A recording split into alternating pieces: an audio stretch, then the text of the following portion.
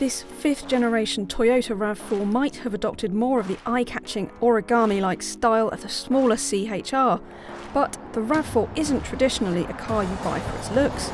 This is a car that has thrived on having a reputation for faultless reliability, comfort, and utility. It's the vehicular equivalent of a slipper then, the RAV4, and while that might sound incredibly tedious to some, to most people that's exactly what they want in a car, which would explain why this has got the sort of brand loyalty that most big brand SUVs can only dream of. Does this model, which is only available with a hybrid engine and starts from around about £30,000, deserve that kind of blind loyalty? And can it live up to the ever higher standards set by rivals like the Skoda Kodiaq, the Mitsubishi Outlander PHEV and the Honda CRV? To start with the basics, the Toyota RAV4 is only available as a full hybrid. That, by the way, is exactly the same thing as what Toyota describes as a self-charging hybrid. It means that you don't have to plug the car in. Instead, it just uses the energy from that 2.5 litre four-cylinder petrol engine and the car's regenerative braking system to charge up the small battery. That in turn delivers a fair amount of pure electric running at slow speeds, meaning that it's impressively quiet and efficient around town. We've even seen around 60 mpg in really slow around town stuff. So clearly, you know, that's much better than you're going to get in an equivalent diesel. But as soon as you get this car out onto faster roads, 50, 60, even 70 miles an hour on the motorway, the economy really dips. And at that point, actually, you're going to see better economy from your standard efficient diesel SUVs. So have a good long think about the type of driving you do before you decide that a hybrid is going to be more efficient than any other conventional alternative. Apart from that, it actually drives really nicely. Of course, you can get this with front wheel drive or four wheel drive.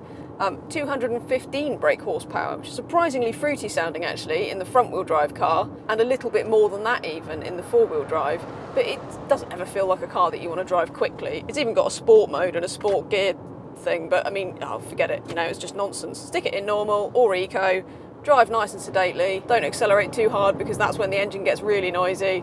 And that's actually the worst thing about this car is that this two and a half litre engine, it's just really coarse, especially at cold actually when you first start the car, it's really buzzy. So we'd like it to be quieter when you accelerate, definitely. But other than that, you know, the ride's good, it's just a very easy car to drive, easy to see out of, nice driving position. It's such a comfortable, natural feeling car to drive, and uh, that is precisely what people will want it to be.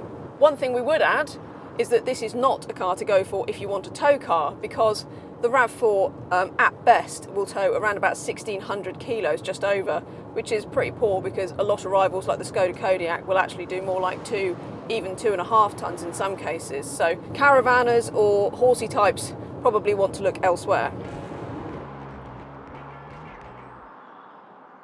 The RAV4's interior is really more about being easy to use rather than being pretty. But you know what, it doesn't look bad actually. Most of the materials like this leather, it all feels quite nice. I really like these rubberized climate control switches and also the fact that the inside of the door handle is rubberized too, which makes it really easy to shut the door. It's just very practical, it's common sense, and I like that a lot actually.